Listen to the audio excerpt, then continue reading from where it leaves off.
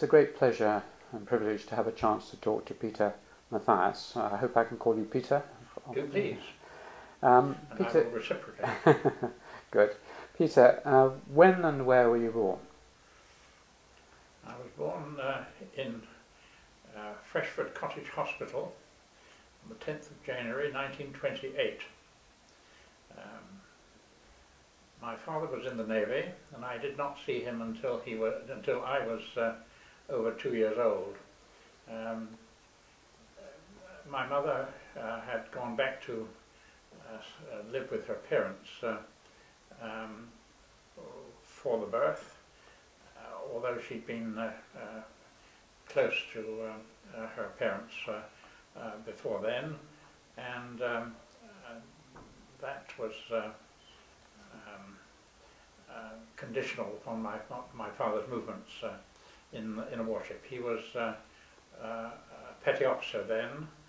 uh, As a, as, a, as a petty officer writer, that is to say, he kept the books on the warship, and uh, he was on a goodwill visit to round the down the east coast of the United States on a, a cruiser HMS Capetown, and uh, he returned in 1930, and uh, then my my mother went to live uh, in a rented flat in Plymouth, close to Devonport, which was his, where his base was. Uh, he was retired from the Navy at the age of 40, I think, in 1932, which was a, um, a compulsory exit point for non-commissioned ranks. And uh, it was the worst year, of course, of the slump in 1932. And uh, uh, he, and, and Plymouth then was a very small uh, town. And he failed to get a job in Plymouth to his liking, a clerical job, and the closest uh, uh, that he could uh, find employment was in Bristol, and he became a clerk in the Bristol and West Building Society, and uh, they rented a house and then bought a house uh, he, he, through the Bristol and West Building Society over many years, um, and I went therefore uh, to school in Bishop Road, Prim- Bishop Road Elementary School, as it then was, rather than primary school. Um, uh, and that gave me a slight uh, Bristol accent, I think, or possibly a, West possi- Country accent. possibly a, a Wiltshire accent. I'm not quite sure. Mm. Um, but then uh, he, uh, you, you didn't uh, leave the navy. You were transferred to the Naval Reserve uh, if you were uh, if you've been a member of the uh, uh, uh, of the permanent navy, the Royal Navy, and therefore he was called up again at Munich, and uh, 1938, and I had just won a scholarship from uh, Bishop Road to Colston's Hospital, as it then was then called, which was a local charity school.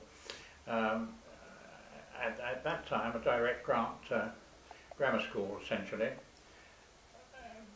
and therefore, and that was without any charge to my parents, and that made a big difference uh, uh, to, to them. So that's why I chose uh, uh, Colston's uh, as distinct from um, um, oh, the grammar school and Cotham and other, other schools which were part of the scholarship scheme then. Um, but it meant that I went, went off to school um, in 1938 when my father left, and my mother didn't want to live alone, so she went back to live with her parents again for the uh, duration of the war until back 1946. Uh, and um, I s- spent uh, the holidays uh, This was a boarding Fine. a boarding school, was it? it was indeed, yes. Uh, it was a Merchant Venturer Mm. um, funded or supported uh, boarding school. Um, I was going to. Tell me something about your mother. uh, yes. Um, As, as a person. I mean, it was, it was very surprising that my mother and fa- father ever met because my, my mother um, was the sixth child, I think it was, out of a family of nine, um, living in a, uh, a small uh, village, Wingfield, uh, uh, I'm much involved in this just at the minute because uh, I'm arranging to have a memorial plaque for my mother and father put into the uh, into the churchyard at uh, at Wingfield. Uh, uh, she was a daughter of a long-standing family living in Wingfield for over, oh, at least four generations, um, called Love, and they lived appropriately in Love's Lane, as it's mm. still called. And uh, they were all servants uh, at the uh, in the local gentry house, Wingfield House, uh, which was uh, at, at, that time and owned by the uh, the Kayard family. And my my my grandfather was ran the stables in uh, in the Wingfield House, and my grandfather was um, uh, well, he, as a boy he was in the kitchens, and then subsequently, when the head of the family then became a county court judge uh, on a circuit, my my my, grandfather became uh, a court usher. That is to say, he was a personal servant, really, of the judge, mm. and arranged all the practical matters uh, when the judge was on circuit. Um, you're talking about two different grandfathers because you mentioned one who was uh, in charge of the stables. That is my great grandfather. Ah, your my yeah. Daniel, Daniel Love, and my father was my grandfather was. Uh, was the usher. Uh, T.W. Love, Tom Love, uh, who was a pillar of the village uh, in, uh, in all kinds of ways. Um, and he brought up nine children, three of whom uh, they all reached maturity but did not live as adults all that long. There were two, uh, two of the boys died and one girl, all of TB, and it was thought to be probably milk-borne hmm. tuberculosis in those days. Um, but it meant that Wingfield and the Love family were um, my, I identified with them very much more than my father's family for a particular reason. Uh, my father was um, was born and brought up when he was, before he had his own say in the matter, as a dedicated Catholic, um, of Irish Catholic uh, uh, descent, and my father's mother uh, kept a, uh, um, a, a, boarding house for seamen in just opposite the Royal Marine Barracks in uh, in in, uh, in Plymouth. Um, but he I think, never, uh, never um, uh, within the faith in any in any dedicated sense. But he met my mother when there was a Navy Day in Weymouth, Weymouth Bay, and the family went off to to Weymouth as they did very regularly, and uh, they coincided on a Navy Day, and uh, my mother met my father uh, when he was showing around his, his worship. And uh, they, uh, they kept in touch. And, uh, as, far as his religion is concerned, my father was really absorbed into, uh, into my mother's family. So your mother's religion was? They were um, traditional rural village Anglicans, essentially, and mm. always had been. My grandfather was, uh, needless to say, as a long-standing um, uh, uh,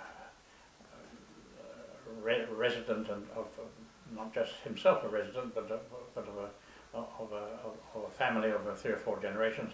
He was the people's warden, he was church warden, mm -hmm. as well as many other things in the village. And um, uh, my father was uh, was really absorbed into in, in, in, into into that. Although he had uh, he was fascinated by uh, yoga, and uh, uh, I, I, I think also um, of course he travelled very extensively mm. and, um, and, and had um, and had interests in, in, in Eastern religions, but not of any any any uh, uh, deeply structured mm. kind. But um, did either of them usually come to religion at some point in our discussions? Um, did either of their religions or any religion have a serious effect on your life? Uh, not, not, uh, not I think consciously, although um,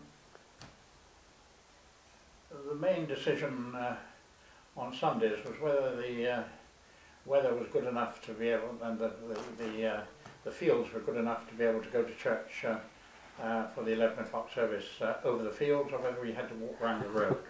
um, uh, that, uh, my mother was my, my mother was very uh, was, was very uh, very faithful uh, within the Anglican uh, uh, uh, faith, and um, all the family really were, and they they had their own uh, burial plot in the churchyard and so on. They were very very much. Uh, uh, identified with the village and identified with the church in the village and so on. Um,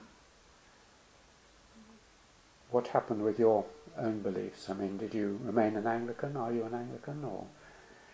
I went to uh, Colston's, uh, uh, as, I, as, I, said, and that was a very old style um, English uh, uh, school. I hesitate to use an adjective for, for it. It was, um, it was um,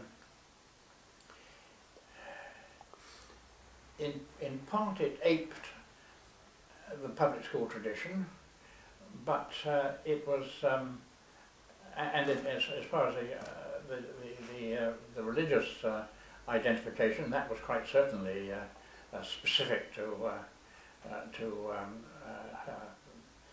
the Anglican Church, and one marched across Stapleton Road to the Stapleton Parish Church every morning. I don't mean every morning, I mean every Sunday morning, mm. and up to the fifth form, they wore stiff Eton collars outside, um, and uh, there was uh, a chapel every morning. Uh, there were prayers every every evening, so it was uh, it was specifically identified, and it, it, had a compulsory core and and all that. Mm. Um, so in, in some ways, it had all the disadvantages of the English public school tradition and very few of the advantages. Uh, but I was never able to tell uh, to what extent the, uh, uh the uh, inadequacies of the school were based upon wartime emergencies or whether it was just long-standing uh, tradition because it, was a very poor school, mm. in poor in financially, in financial terms and poor in, in other ways too. And all that was compounded by the, uh, by the war, when uh, most of the able-bodied people uh, went off to uh, went off to the war one way or another, and uh, uh, college, the school picked up the pieces. Hmm. in, in, my and on the whole, the school was a very good teaching organisation uh, up to matriculation, but after matriculation it was not a serious uh, educational establishment, uh, um, and more particularly in wartime when all these uh, weaknesses were compounded. And when I uh, uh, passed my matriculation, or O levels as we would now call it, there was no one teaching history at all in the sixth form, and I had to go for one hour a week down to the grammar school um, for a sort of tutorial. Were you already interested in history as a? Um, uh, yes, I, I, I was. Um, um, but on the other hand, uh, as far as my uh, results are concerned, uh, there was nothing to choose between uh, the science side of the, of the sixth form or the uh, or the outside of the sixth form, but I, but I, I was, I, I was interested in history and therefore I took that, um, took that option. Do you remember any teachers who were a little bit unusual in encouraging you at any stage, or?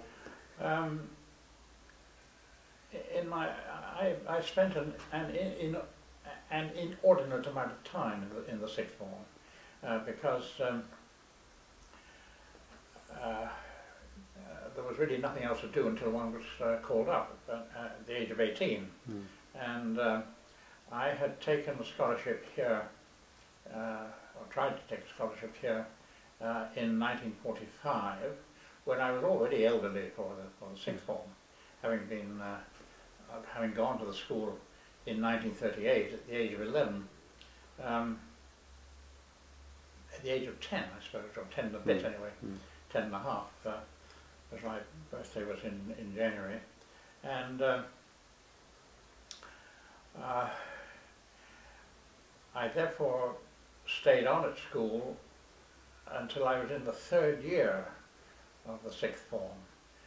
Um, but in 1945, in December, I came up to take a scholarship here, which I failed to get. Uh, uh, This was at King's. King's. uh, Kings, yes. and um, but then uh, that was in December 1945, and there were then scholarship exams held also at Easter, and I was advised by uh, Christopher Morris, who was one of those interviewing me uh, in December here in King's, that I ought to. It would be a better bet if I tried for Jesus. He said, I think Jesus would suit you. so um, I tried uh, uh, again for the Easter examinations, scholarship examinations, and hooked an exhibition at that point, and therefore stayed on until I was called up, essentially, in the summer of, uh, of 1946, um, having secured a place here.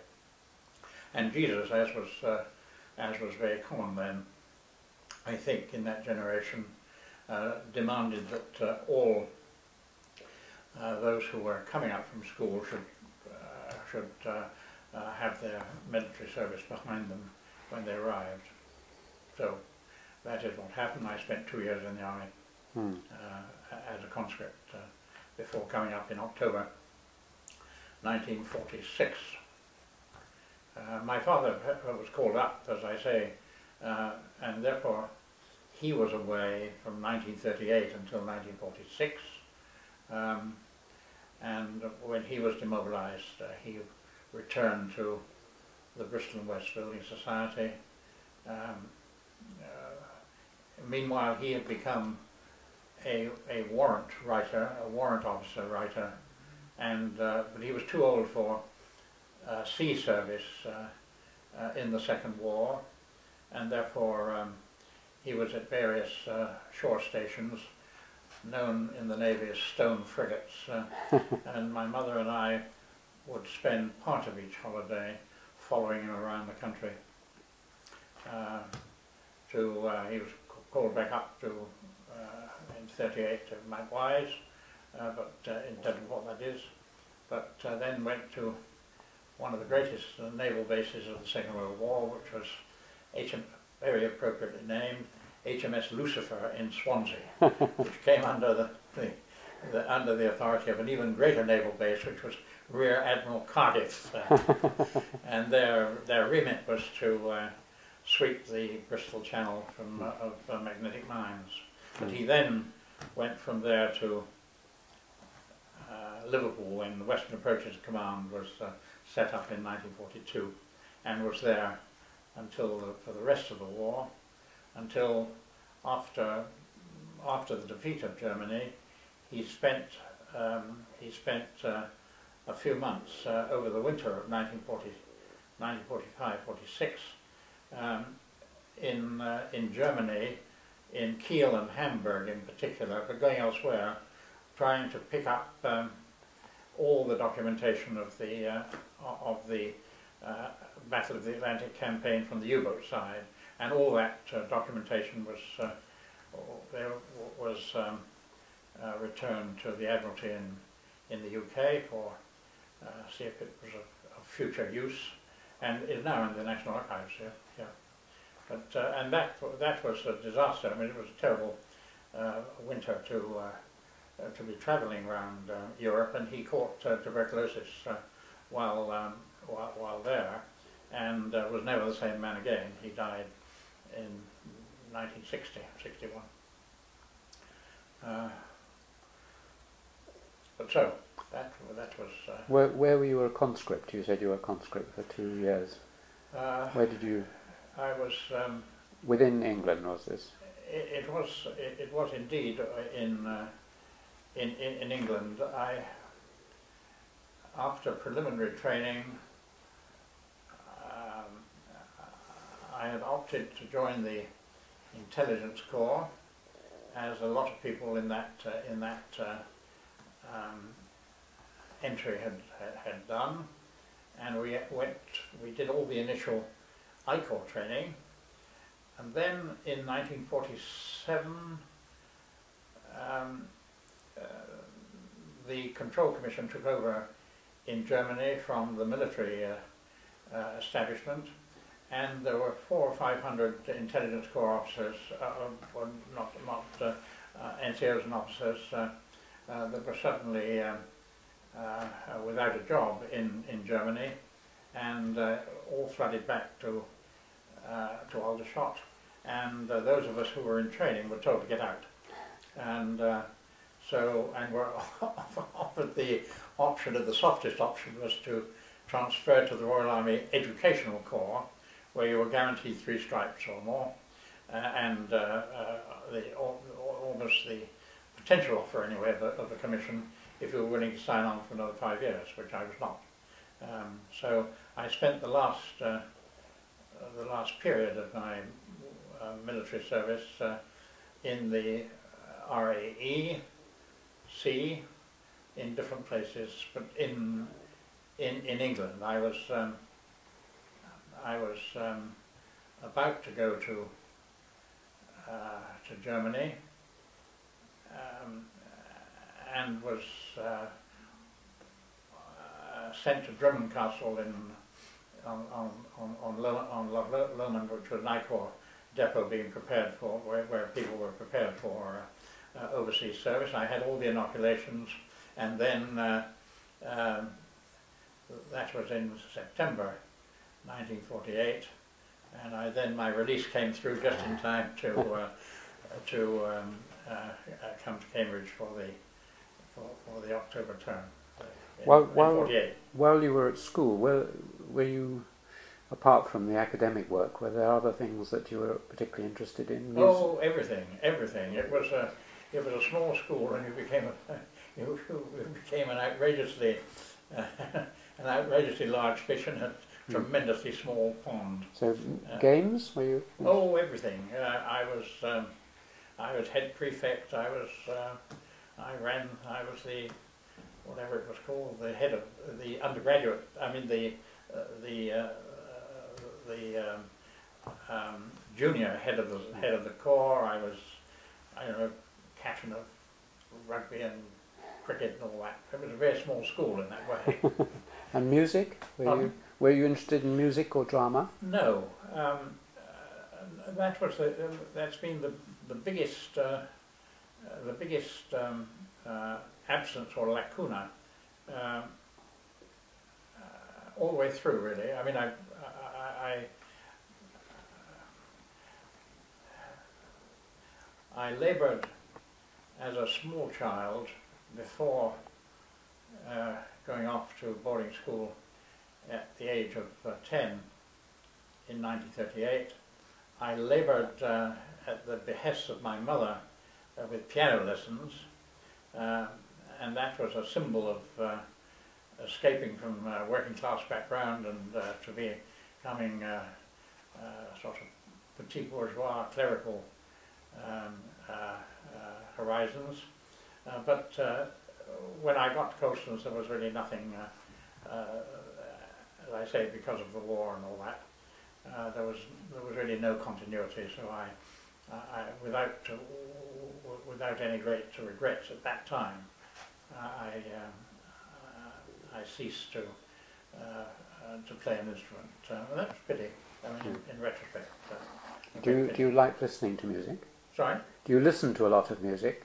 Yes, quite a lot. Hmm. quite a lot, and we we uh, we go to um, uh, West Road uh, very regularly, and more particularly now we have a a, um, a, a, minute base in uh, in, in Norfolk. Uh, uh, every parish church in, in north coast of Norfolk is, has a music festival in the summer, and Mm. we we uh, are regular attenders at the um, Burnham Market Festival. Mm. Uh, where we were last uh, last uh, last Saturday, in fact, uh, at one of the concerts there.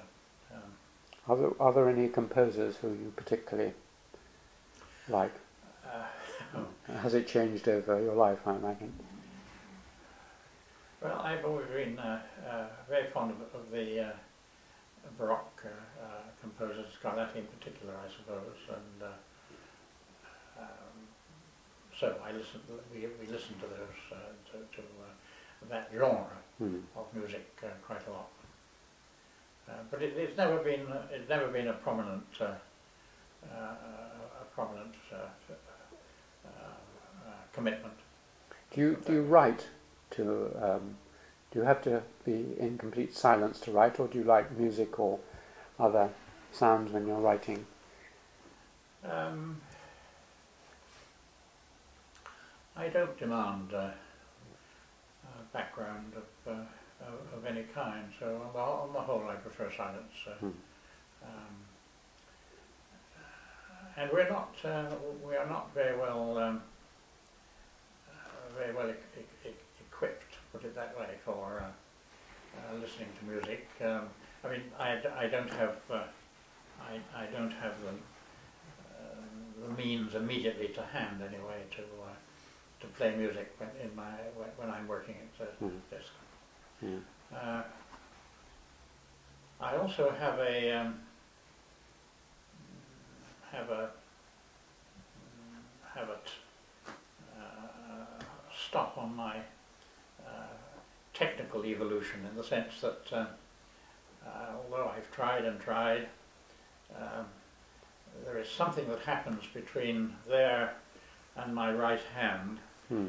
which um, uh, is um, uh, there's no substitute for uh, uh, for it, and I find it very difficult to compose when typing or on a on a tape. So uh, I have to uh, I have to write it all out uh, longhand, scratch it about, and make a terrible mess. Uh, Hmm. um, but that's the only way in which it uh, it seems to work out in any um, in any um, reasonably uh, uh, cultivated English, uh, put it that way. Once you've written it all out longhand, do you then type it, or does someone else type it, or? I then forget it and someone else types it. but as I say, my, uh, my technical uh, um, uh, evolution uh, stopped in the, um, in the early 50s, I suppose. And uh, the other thing was that I had that, uh, that um, deadly asset, uh, which was a secretary. Um, so we've got you to Jesus College now um, in about 1948, was it? It was indeed in 1948, yeah. Um, who, who were your teachers in Jesus then?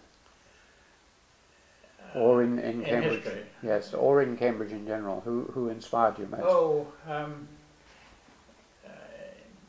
in, in, in, in, Jesus, um, my main mentor, I suppose, was uh, was Charles Wilson because uh, I identified with, with, with, him and his work um, as an economic historian, and, and by that time I was uh, I was uh, uh, really committed to uh, uh, uh, to economic history within the syllabus, uh, more particularly, and um, Charles in uh, Charles Wilson in in, in uh, Jesus was the was the uh, uh, the, the person whom, in that sense, I, I, identified with. Uh, um, and uh, Vivian Fisher was my tutor, who was also a medieval historian, but and was a, tutor in the in the in the Cambridge sense too. Um, and they, uh, Vivian Fisher was. Uh, did you know him at all? No. Uh, he he was um, formidable uh, character. He had one one boss eye, and he he could fix you with a, with his boss eye, and uh, it was a highly intimidate, intimidating affair. He was, it was much too intimidating initially because um, uh, I had been very interested in rowing. Uh, not uh, there was no rowing in uh, in in in in Colston's at all, but my father was uh, uh, was knew about rowing, and we used to row quite a lot when on holiday. Um, and I came up eager to join the boat club in Jesus. This was in 1948 when Jesus won the Grand at Henley. And uh, I joined, Julie joined the boat club and met Vivian Fisher for the first time as my tutor a couple of days later. And he said, what are we doing? I said, I joined the boat club. He said, you resign immediately. He said, no, no exhibitioner and scholar of Jesus can join the boat club. It's a total commitment, he was. and uh, I was young and uh, obedient and uh, and uh, did what he asked, and I wish I'd never done so. but there it was. Um, but um, and in in the faculty, I mean, I did. I I, I, I ran through the the uh, tripos in a standard way. Um, the person, however, whom uh, I identified with in the faculty more than with any other uh, was uh, Edward Welbourne. Now, Edward Welbourne, who was then senior tutor of Emmanuel, he became master of Emmanuel, uh, he had, um, uh, as a pupil, uh, uh been at Market Rasen Grammar School. And Charles Wilson also had been at Market, really? Market Rasen uh, Grammar School, and uh, they had, um, they were devoted allies of, of each other when in, in Cambridge. And uh, Charles said, you go to Edward Welbourne. He said, won't be many people there, but uh, he said, you stick with it. and uh, um, and he said, be careful. He said, uh, Welbourne will come out of come out with a string of impossible things. And at the end of the line, you'll say, I can't take this anymore. He said, but at that point, be very careful. He said, that's probably the only thing he's really thought about and can defend to the limit. And that was all duly transpired. And I went to Edward Welbourne lectures, that not a sentence was repeated all three years as an undergraduate. Um, it's a, it's a one of the smallest of the Mill Lane lecture rooms in the upper room, Tuesday and Thursday at 12 o'clock. And um, What was he lecturing on? What? Oh, whatever came into his mind, uh, really. it was called some technological factors in English economic history. Oh, left it wide open. Yes. But uh, he, he was a Johnsonian figure and um, uh, he, he wrote almost nothing. He wrote uh, a little book, uh, those days when you you wrote in order to get your fellowship, and now you get a fellowship in order to write. and uh, Edward wrote well one uh, got a prize fellowship and wrote a little book on the Northumberland and Durham miners. And that's about the only thing he ever wrote. But he read voraciously and had an extraordinary memory. Um, and there were no frontiers to his mind at all, and that was, uh, was uh, I mean, uh, fascinating. He had a devoted band, a very small band of, uh, of, uh, of uh, undergraduates and subsequently people but he, he was uh, written off as a clown by the, mm. by the history faculty. Mm. Uh, I learnt a great deal from him. Mm. Were you lectured by John Saltmarsh? Yes, indeed. And Christopher Morris. Uh, this was uh, John Saltmarsh uh, lectured on. Well, I, I have reason to uh, I have reason to know because in 1955, when I became an assistant lecturer in the faculty, I inherited the second half of John Saltmarsh's uh, lecture course. It, the, the provenance of it was as follows. But Clapham, when he was professor, lectured on the whole of English economic history, from the beginning until the latest uh, crisis of the pound. Uh, and um, uh, uh um, that was three times a week, Monday, Wednesday, and Friday, lecture room nine in Mill, in Mill Lane, and uh, the whole thing was uh, was covered. When he died, then and I'm not sure whether he'd retired before he died, but anyway, when uh, when Clapham's course ended, but remained, but the course remained in the Tripos. Mm.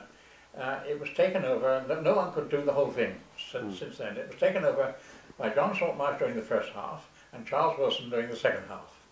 Um, the, break coming uh, at devious points in the 17th century. Anyway, as soon as I was appointed, Charlie Wilson got out.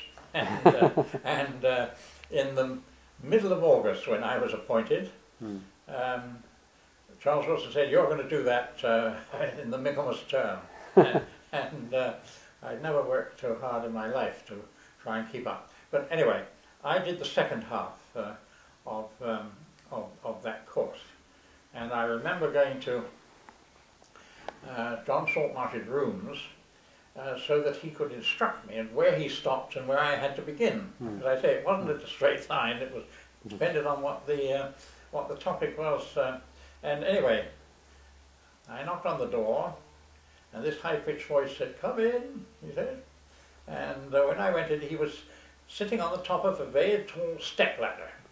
And his dining room table had been completely extended, and the table was full of little bits of paper. I wondered what on earth I'd walked into and uh, he was vice provost and he was planning the seating of a king's feast and, and uh, so trying to ensure that uh, the, the uh, uh, appropriate people were sitting next to one another, or the inappropriate people were not sitting mm-hmm. next to one another. Mm. And um, so I took over in that um, in, in, that way in, in 1955. Um, but anyway, uh, my own I went to the standard uh, uh, lecture. I went to Christopher Morris uh, on the history of uh, political thought in my second year. Was Christopher a good lecturer or uh, yes, moderate? In, in, indeed, he he he was a very how can I put it? he, he had a a, very specific style, and it was all he he linked uh, um, uh, the, uh, topics of his uh, political thought lectures with uh, what was what was going on at the um, at, um, at, at, the time, and he had a lot of things to say about politesse, I remember, and how he would change notices and put, uh, put please in front of uh, uh, minatory instructions, that kind of thing. But uh, uh, no, I, I, I, went to all his, uh, all his lectures, my second year this was. Did you go to any of the famous John Saltmarsh lectures where he would lecture about the stirrup? Reputedly he used to lecture on the stirrup and demonstrate its effects by charging down the lecture room with the board pointer and occasionally nearly impaling one of the undergraduates. I, I can't remember that, but I, I remember the, uh, uh, the uh, content of the, uh, of the lectures very well. And uh, I also went to a sort of rival uh, course which Frank Salter yes. was delivering. Mm. And that was again on uh, uh, English economic history. But uh, I don't know whether they divided the field, but uh, Saltmarsh was mainly on, on medieval, and I think that uh, Salt, Salter uh, carried through, but I, I don't know. I still may have some of those notes, but I can't remember at the minute. Um, but uh, what, what, about um, someone you collaborated with later? Uh, only Postan. Oh, I, yeah, I'm going to say yes. Um, I went to Postan's lectures, uh, uh, clearly, and uh, um, subsequently uh, I had uh, a great deal to do with with, hmm. with, with, uh, with Postan. when I became a lecturer, um, or assistant lecturer. Um, at the time, when I was an undergraduate, uh, Charles Wilson had fallen out of Postan, uh, whom he thought was a, a jumped up uh, refugee, uh, which was not uncommon, that, that sort of thought. He was too clever by hand, too clever by half, he, mm. uh, Charlie Wilson thought of Postan. And uh, Wilson tried to prevent me from actually going to Postan's lecture, lectures. so uh, I, uh, I, I, did in fact go to, to Postan's lectures, um, uh, but concealed the fact from Charles Wilson until uh, he rumbled the fact, or I told him, and we, and I said, I tried to defend Postan and, uh, and said, uh, well, you must admit, Charles, that he, he does know about the manor. And Charles replied, he bloody well ought to, he was brought up on one, he said. and, but uh, they, they subsequently became uh, reconciled. Mm. But um, uh, Jesus uh, was um, the historians in Jesus and Jesus in general, where uh, was um, it was it was a, a, an isolated college. It was away from the from the the main line of uh, Cambridge colleges. Uh, it was uh, it existed in rural conservatism mm. in its own grounds, and it was more inward looking, I think, than many other uh, colleges, and uh, it had its own very specific Anglican tradition. Mm. I mean, again, that was rural Angl Anglicanism. I understood mm. it perfectly well from uh, Wingfield. Mm. Did you go to the chapel? I did indeed, yes. You, and although I think technically the chapel was not compulsory, it was assumed by most of the undergraduates that it was, and by the scholars and, exhibition, and exhibitionists in particular that it, that it was. And the um, uh, uh, Gardner Smith, who was the great uh, Orthodox uh, uh, Dean of Chapel in, uh, in, in Jesus, um, who was a highly conservative figure, of whom there's an innumerable uh, stories. Uh, but uh, Gardner Smith, quite illegally, I believe, by 1948, he would get the, get the head porter to stand behind a curtain in the chapel and prick off all the people who'd been there, so he would know who, who, who had gone and more particularly who had not gone uh, to, um, uh, to, to chapel. Um, uh, and he was an arch, an arch conservative um, one way or another. So, and I was I was in, in, in the choir at Jesus and and, and so on. Uh, How would you describe yourself now in your religious position? Oh, um, uh, again, a, a, um, I mean, a, a, traditional, a traditional Anglican, I would suppose. Yes, um, I am not as devout as my as my wife, who is much more committed. Uh, uh, uh, to uh, to the church than I am, but um, oh well, hmm. I I tag along, so to speak. Hmm. Okay, well, um, were there any of your undergraduate contemporaries who you kept in touch with since those days, or uh, shall we move on to your? Presume you went on and did a doc- doctorate, or did you go straight into a lectureship? Or I, I, I didn't, didn't do a doctorate. No. I was in that generation mm. before it became uh, either mandatory or indeed um, advantageous. Mm. Uh, it, it, seemed at the time. I now wish I had done a mm. doctorate. Uh, um, my absence of a doctorate uh, is now concealed by the fact that I have a higher doctorate, so I can call myself doctor, but I never, hmm. never got a PhD. Hmm. Uh, and having hooked a, um, a, um, uh, uh, research fellowship at Jesus uh, in the uh, in the autumn of when I graduated in 1951, was it 1952? I'm sorry. um, uh, Charles Wilson uh, said, "Well, my boy," he said, "now."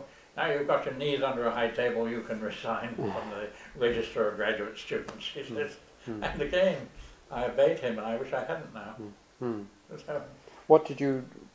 Uh, so this was what? What year was it that you got your uh, research fellowship? What? What year was it? 1952. What were you going to research, even if you weren't going to do a? Oh, I'd, I'd already been doing that for a year. I mean, I started, uh, I knew what I was wanting to do um, at the time that I graduated in 1951. Um, I, uh, um, I was working on the, on the brewing industry in the 18th century. Uh, uh, um, again, I, I mean, it was. Um, it was um, um, not a not recognised really as a as an appropriate academic subject in 1951. Um, the uh, the uh, reputation of the industry was uh, totally polarized between uh, those people who were um, uh, probably from brewing families or connected with the industry directly, or those people who uh, viewed it as the incarnation of the devil, uh, one way or another. I mean, Hmm. who were nonconformist uh, uh, and Methodist uh, persuasions.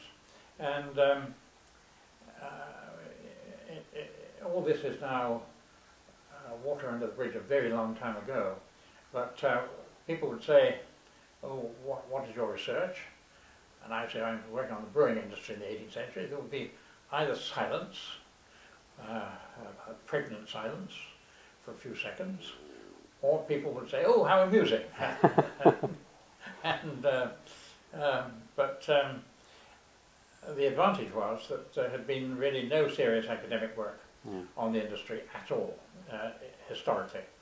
Um, and uh, that was doubly fortuitous and doubly fortunate because um, at that time almost all the um, uh, the the, uh, uh, the brewing firms in the country, whether in London or Burton or elsewhere, were still uh, run by the family or, or, or owned by the family, if not run by the family, and uh, therefore all and and uh, family firms tend not to throw away their their records.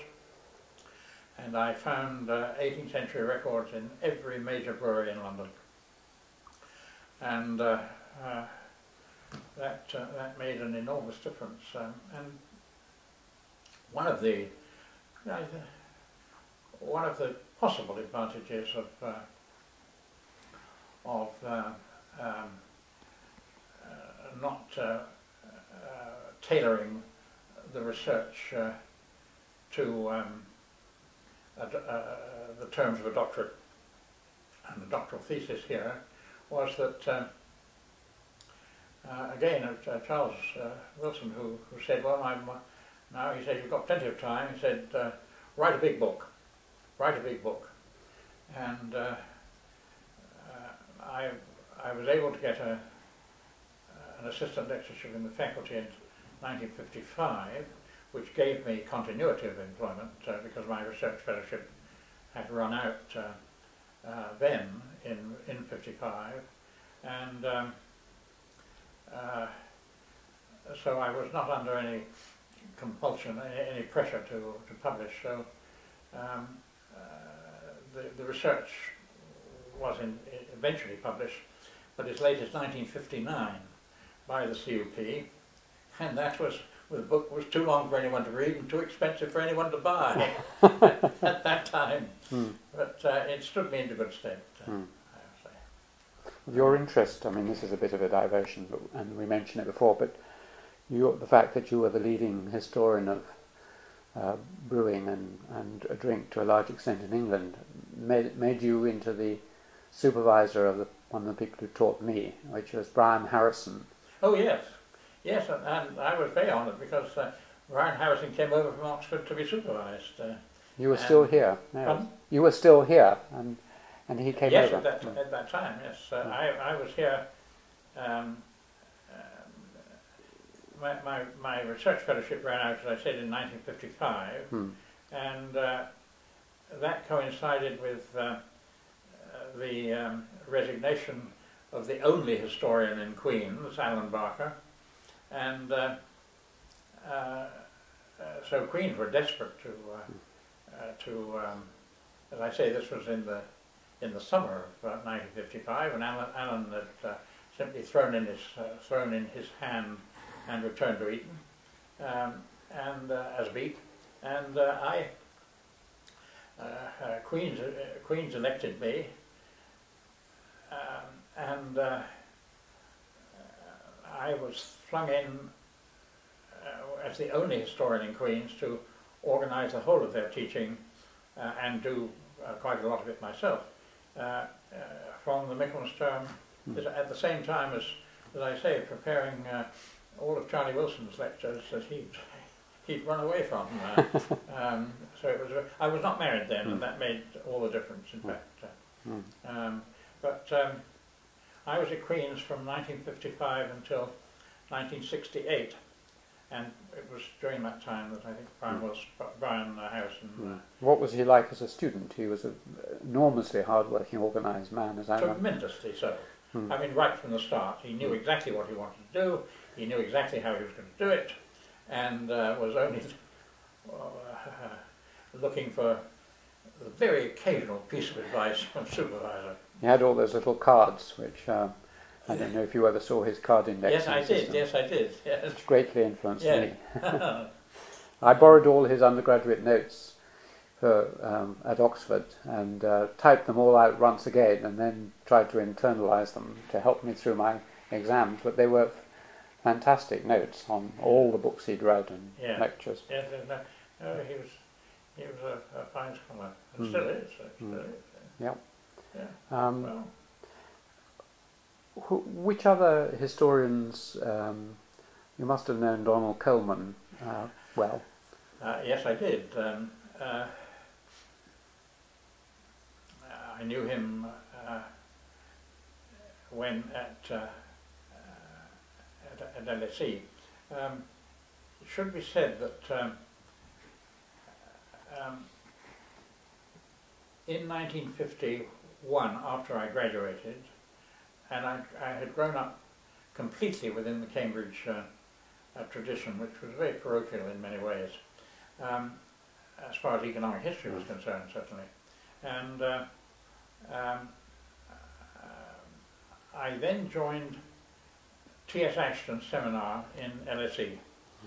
and went down every week uh, to uh, uh, to uh, the Institute of Historical Research where he ran it. And I met Donald Coleman and, and, all the LSE Fisher. mm. Fisher. And Jack Fisher, yes, so who was a, I never, very difficult to know what, what Jack Fisher believed in or didn't believe in. I mean, it was easier to work out what he didn't believe in, what he did believe in. He was very much a maverick in that mm. way. Um, but um, I knew, and T.S. Ashton was extremely kind to me, and uh, I learned a great deal from uh, mm. from uh, from TSA in that year, uh, from 1951 to 1952 in the summer. Uh, was it? And I knew Donald uh, uh, Donald was, uh, he, he, he had uh, calmed down a, bit anyway by the time he came to Cambridge as professor. But he, he was a tiger when he was in LSE. He was, um, he was quite unforgiving. He knew exactly what he what he, what he believed in, and uh, uh, more particularly knew exactly what he didn't believe in, what he was hostile to, and was uh, was very much um, uh,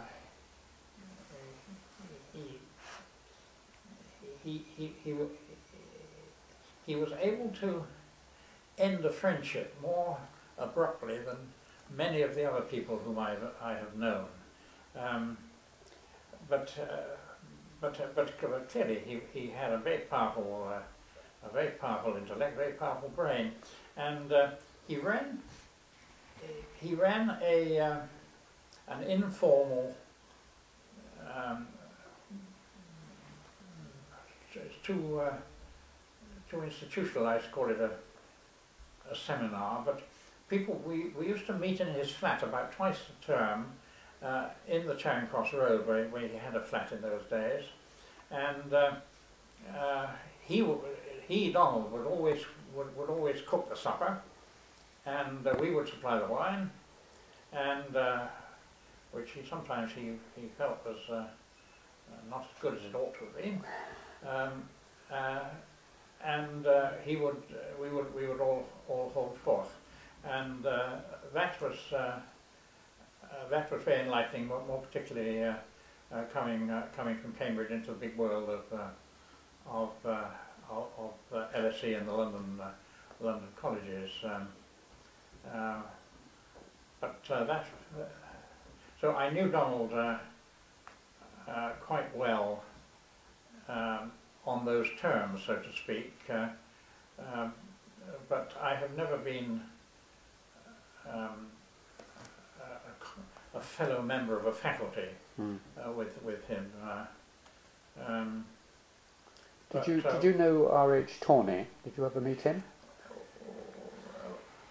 Uh, I, I, I, did meet him. Uh, this was uh, wait a minute in 19 in 1950, it should be said that when I came, when I came up, hmm. I had one, I had one friend in court in Cambridge, one friend at court in Cambridge, hmm. and that was Teddy Rich. Oh yes. Uh, E. Rich, who hmm. was then Master of St Catharine's. Hmm. Uh, by uh, happen chance, um, Teddy Rich had been a, a, a pupil at, at Colston's, hmm. and uh, his brother, his younger brother, uh, whose initials I can't remember, was the gym master and the German master at, uh, at Colston's until he uh, was called up and went away for the war.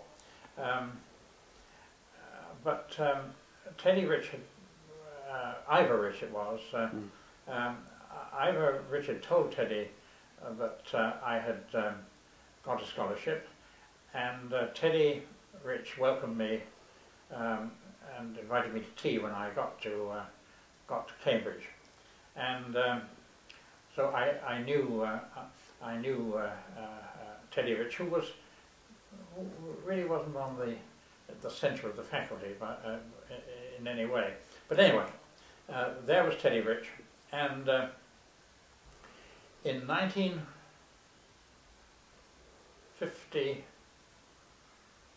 must have been 51, I think, possibly 50, possibly 50. Um, uh, Teddy Rich told me that I ought to, he was, Teddy Rich was then uh, treasurer, I think it was, or, or, possibly secretary, I think treasurer, of the Economic History Society. And uh, uh the, uh, he told me that um, I ought to join the Economic History Society. undergraduates then did not do so. But uh, Teddy Rich said, well, uh, I, the, the, the, next conference, uh, which was always held in the Easter vacation, is at Worcester. And I'm going there because we're going on in our caravan uh, for a holiday. And you come with me and we'll go to the Economic History uh, Society uh, conference at Worcester. It was the second conference, I think, that the Society had held. So I, I, I did that and to my surprise, we started driving to Oxford. And I thought, this isn't the way to Worcester. But it was Worcester College. I was going to ask you. my mind that we were, it was Worcester College. I was a, an innocent abroad in those days, with very, very limited uh, um, horizons uh, of awareness, range of awareness and so on. Anyway, uh, there uh, I went to the conference, and there was Tawney. And uh, uh, Tawney made an immense impression. He was very avuncular to me and was very kind to me.